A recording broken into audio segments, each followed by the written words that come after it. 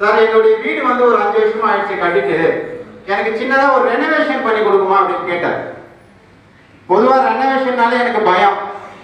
என்னுடைய நண்பர்கள் சில பேர் ஏதாவது ரெனோவேஷன் பண்ணனாலே எனக்கு அதை செய்ய முடியாத நபர் நான் தவிர்த்துருவேன். ஏன் அப்படின்னா அதை ஒரு கம்ப்ளீட் பண்ண முடியாது.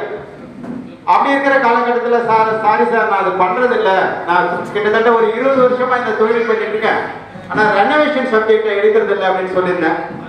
சார் நீங்க இதை மறுக்க கூடாது சார். எனக்காக நீங்க இந்த ரெனோவேஷன் ஒர்க்கை பண்ணுங்க அப்படின்னு சொன்னதுதான். இப்படி இந்த ரெனோவேஷன் ஒர்க்கை ஸ்டார்ட் பண்ணும்போது தான் அவர் என் மேல தனிப்பட்ட அபிப்பிராயமும் அவங்க ஃபேமிலிக்குள்ளேயும் நான் ஒரு எப்படி சொல்றது அப்படின்னா என்ன அவர் ஒரு உடன்பிறவா சகோதரராகவே ஏற்றுக்கொண்டார். ஒரு நாள் கூப்பிட்டு சார் நான் ஒன்று சொல்றேன். நீங்க ஏற்றுக்கீங்களான்னு கேட்டாரு. அவங்க பிள்ளைகள் அவனுடைய மனைவிகள் அவங்க எல்லாரையும் கூப்பிட்டு சார் இனிமேல் நம்ம வீட்டுல எது நடந்தாலும் சாரு அவங்க பிரதர் அவங்க ஃப்ரெண்டு அவங்க என்ன சொல்றாங்களோ அதை நீங்க கேட்டுக்கங்க. அவங்க தான் நமக்கு முக்கியம் அப்படின்ற மாதிரி ஒரு பெரிய வார்த்தையை விதைச்சாரு. ஸோ அந்த நம்பிக்கை எப்படி வந்தது அப்படின்னா உண்மையாகவும் விசுவாசமாக இருந்ததுதான். ஸோ அப்படி உருவானது தான் இந்த ஜிஎஸ் பார்ட்டியால் அதுக்கப்புறம் இந்த ஜிஎஸ் பார்ட்டியால் எப்படி ஸ்டார்ட் ஆச்சுன்னா போன வருஷம் மார்ச் எட்டு இல்லை ஒன்பது நினைக்கிறேன். அப்ப இது ஒரு காலி மணியா இருக்கு அவருக்கு உண்மையாவே இதுல ஏதோ கட்டணம்ன்ற எந்த இடமும் இல்லை.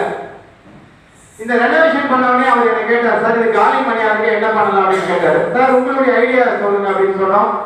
அவர் சண்மநாதன் சொன்ன ஒரு வார்த்தை என்ன அப்படின்னா சார் எனக்கு எதை பத்தி எதுவும் தெரியாது. நீங்க என்ன வேணாலும் முடிவெடுங்க.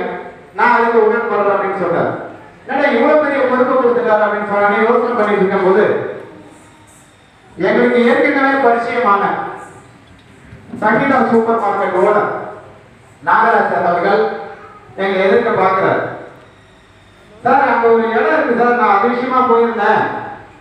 ஓனர் பார்த்தா அவர் சொல்லிட்டாரு எனக்கு எதுவும் தெரியாது. உதயகுமாரை கேளுங்க அப்படின்னு. சார் நீங்க ஓனர்ல பார்த்து கேட்கணும். இல்ல இல்ல சார் அவர் எதை கேட்டாலும் உதயகுமாரை பார்த்து கேளுங்க அப்படின்னு சொல்லிட்டாரு சொன்னாங்க. அப்படி மீட் பண்ணி இந்த சங்கீதா சூப்பர் மார்க்கெட் முதல்ல ஒரு பேஸ்மெண்ட் போட்டோம். முதல்ல என்ன பண்ணலாம் கேட்டே அவர் முதல்ல சொன்ன வந்து அதே தான்